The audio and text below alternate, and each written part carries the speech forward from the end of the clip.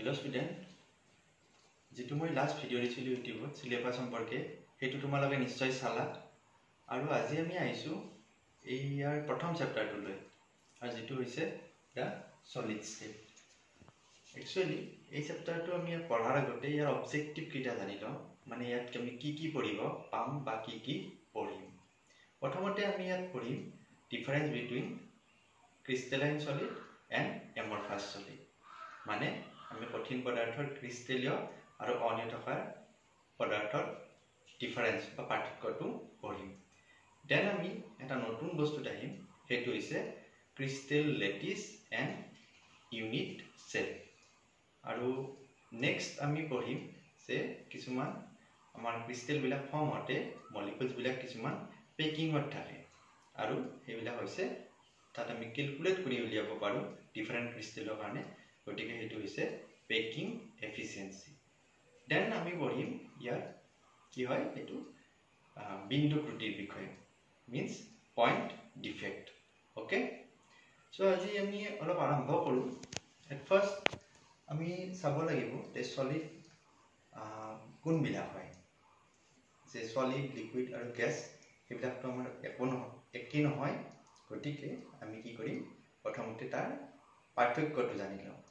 আৰু দুটা প্ৰপাৰ্টিৰ পৰা চলিডবিলাক লিকুইড আৰু গেছতকৈ বেলেগ। আৰু সেই দুটা হৈছে নাম্বাৰ ওৱান ইণ্টাৰমলিকুলাৰ ফৰ্চেছ আৰু নাম্বাৰ টু হৈছে থাৰ্মেল এনাৰ্জি আৰু এইটো এটা আনটোৰ ভাইচ ভাৰ্চা হয়। ডেট মিনছ এটা বাঢ়িলে ইয়াৰ প্ৰপাৰ্টিবিলাক চেঞ্জ হয়। ডেট মিনছ থাৰ্মেল এনাৰ্জি যিমানেই বাঢ়িব এইটো আমাৰ কি হৈ যাব? কেচিয়াছ ছাবষ্টেঞ্চ হ'ব। আৰু থাৰ্মেল এনাৰ্জি যিমানেই কমিব ইণ্টাৰমলিকুলাৰ ফৰ্চেছ বাঢ়িব। চ' আজি আমি চেপ্টাৰত পঢ়িম যে চলিড ছাবষ্টেঞ্চবিলাক টু টাইপছৰ আছে। ওৱান ইজ ক্ৰিষ্টেলাইন বা ক্ৰিষ্টেলিয় and another is amorphous or অনিয়টকা ঠিক আছে? এতিয়া ক্ৰিষ্টেলাইন কোনবিলাক? ক্ৰিষ্টেলাইনবিলাক আমাৰ কি হয়? যিবিলাকত ইয়াৰ কনষ্টিটিউটিং পাৰ্টিকুলবিলাক এটা প্ৰপাৰ এৰেঞ্জমেণ্টত লং ৰেঞ্জত অৰ্ডাৰত থাকে সেইটো হৈছে আমাৰ ক্ৰিষ্টেলাইন ছাবষ্টেঞ্চ এণ্ড দেন এমৰফাছবিলাকত কি হয়? এইবিলাক শ্বৰ্ট ৰেঞ্জ হৈ থাকে। ডেট মিনছ ইয়াত এৰেঞ্জমেণ্টটো নহয় প্ৰপাৰ নহয়। ঠিক আছে? চ' ইয়াৰ এক্সাম্পল ক্ৰিষ্টেলাইন ছাবষ্টেঞ্চৰ হৈছে N A C L quartz etcetera and এমৰফাছৰ হৈছে ৰাবাৰ এণ্ড গ্লাছ এই গ্লাছটো একচুৱেলি আমাৰ অলপ কণ্ট্ৰভাৰ্চিত আছে বিকজ ইয়াত কি হয়? Glass is known as pseudo' solid that means E solid হয় কিন্তু ইয়াক কি হয় ইয়াক একচুৱেলি প্ৰকৃততে ই চলিড নহয়। Since glass can through' flow' like liquid then আমি কি পঢ়িম নেক্সট আছে ইয়াৰ প্ৰপাৰ্টিজ মিনছ ক্ৰিষ্টেলাইন ছাবষ্টেঞ্চ আৰু এমৰফাছ ছাবষ্টেঞ্চ কেনেকৈ আমি জানিম? মানে ইয়াৰ ডিফাৰেঞ্চটো কেনেকৈ জানিম? তাৰে প্ৰপাৰ্টিখিনি ইয়াতে আছে। অলৰেডি মই ক'লোৱে যে ক্ৰিষ্টেলাইন ছাবষ্টেঞ্চবিলাক কি হয়? They are arrange in a long range order and এমৰফাছবিলাক কি হয় বা অন্য টকাৰবিলাক কি হয়? They are arrange in short range order so' এইটো এটা প্ৰধান ডিফাৰেঞ্চ নেক্সট আমাৰ কি আছে? যে আমি যিকোনো ক্ৰিষ্টেলাইন ছাবষ্টেঞ্চৰ বা এমৰফাছ ছাবষ্টেঞ্চৰে হওক কিছুমান ইয়াত ফিজিকেল প্ৰপাৰ্টি আমি উলিয়াব পাৰোঁ কেলকুলেট কৰি। Just like refractive index then আমাৰ আছে ইলেক্ট্ৰিকেল কণ্ডাক্টিভিটি এইবিলাক আমি উলিয়াব পাৰোঁ আৰু আমি ডিফাৰেণ্ট এংগুলত এইবিলাক যদি আমি কেলকুলেট কৰোঁ ক্ৰিষ্টেলাইন ছাবষ্টেঞ্চৰ কি হ'ব ডিফাৰেণ্ট এংগুলত বা ডিফাৰেণ্ট এক্সিছত ইয়াৰ প্ৰপাৰ্টিজবিলাক এইবিলাক প্ৰপাৰ্টি বেলেগ বেলেগ হ'ব কিন্তু যিটো আমাৰ এম'ফাৰাছ আছে এইবিলাক কি হ'ব? এইবিলাক হ'ব আইচ'ট্ৰপিক ডেট মিনছ সমদৈশিক মিনছ আমি ডিফাৰেণ্ট এক্সিছত ইয়াৰ ৰিফ্ৰেক্টিভ ইণ্ডেক্স বা ইলেক্ট্ৰিকেল কণ্ডাক্টিভিটি বা কণ্ডাক্টেঞ্চ ল'লে আমি কি পাম? একে পাম। চ' এইখিনি হ'ল আমাৰ এটা বেচিক ডিফাৰেঞ্চ কাৰ মাজত ক্ৰিষ্টেলাইন আৰু এমৰফাছ ছাবষ্টেঞ্চৰ মাজত।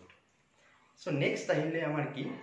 যে যিবিলাক আমি ক্ৰিষ্টেলাইন ছাবষ্টেঞ্চৰ বিষয়ে পঢ়িলোঁ সিহঁত চববিলাক একে নহয় বিকজ সিহঁতৰ মলিকুলকেইটাৰ মাজত বণ্ডিঙৰ ডিফাৰেঞ্চ আছে। ঠিক আছে? বণ্ডিংবিলাক কি কি হ'ব পাৰে? আয়নিক হ'ব পাৰে কোভেলেণ্ট হ'ব পাৰে দেন হাইড্ৰজেন বণ্ডিং হ'ব পাৰে অৰ লাষ্টত আছে আমাৰ এটা এইটো মেটেলিক বণ্ডিং ঠিক আছে? এণ্ড মেটেলিক বণ্ডিঙত কি হয়? All are all metal are constitute by metal metal bonding ionic কোনবিলাক হয়? আয়নিক আমি জানো। এক্সাম্পলতে আছে it is N A C L and quartz then আমি কিহত আহিলোঁ? নেক্সট যিটো ইয়াৰ ক্লাছ আছে ক্ৰিষ্টেলাইন ছাবষ্টেঞ্চৰ ইট ইজ কোভেলেণ্ট আৰু কোভেলেণ্ট আমি জানো। চবেই আমি জানো যে কোভেলেণ্ট কোনবিলাক? আমাৰ graphite diamond all covalent crystalline solid okay so' আমি কৈ আছোঁ crystalline crystalline what is crystalline so' crystalline বুলি ডিফাইন কৰিব লাগিলে আমি ফাৰ্ষ্ট এটা বস্তু জানিব লাগিব যে ক্ৰিষ্টেলাইন ছাবষ্টেঞ্চৰ এটা কি থাকে? ক্ৰিষ্টেল লেটিছ ডেট মিনছ সিহঁতে এটা আনটো মলিকুলছবিলাকে ধৰি থাকে in a three dimensional manner okay so' এই থ্ৰী ডিমেনশ্যনেল মেনাৰত যিটো এটা ডাঙৰ এৰিয়া থাকে ক্ৰিষ্টেলৰ which is known as crystal lattice আৰু এই ডাঙৰ এৰিয়াটোৰ এটা আমি যদি থ্ৰী ডাইমেনশ্যনেল স্মল পৰ্চন কাটি লওঁ দেন আমি এটা পাম which is known as unit cell so' unit cell is also' constitute by some small small point in three dimensional corner আৰু যিখিনি আমাৰ ইয়াতে শ্বেডত কৰি দিয়া হৈছে এই শ্বেডত কৰি দিয়া অংশখিনি হৈছে আমাৰ কি হয় ইট ইজ ইউনিট চেল ঠিক আছে? চ' ইউনিট চেল এটাৰ যি আমাৰ চুককেইটা আছে চুককেইটা কি হয় কিছুমান স্মল স্মল পইণ্টৰ দ্বাৰা কনষ্টিটিউট হয় which are known as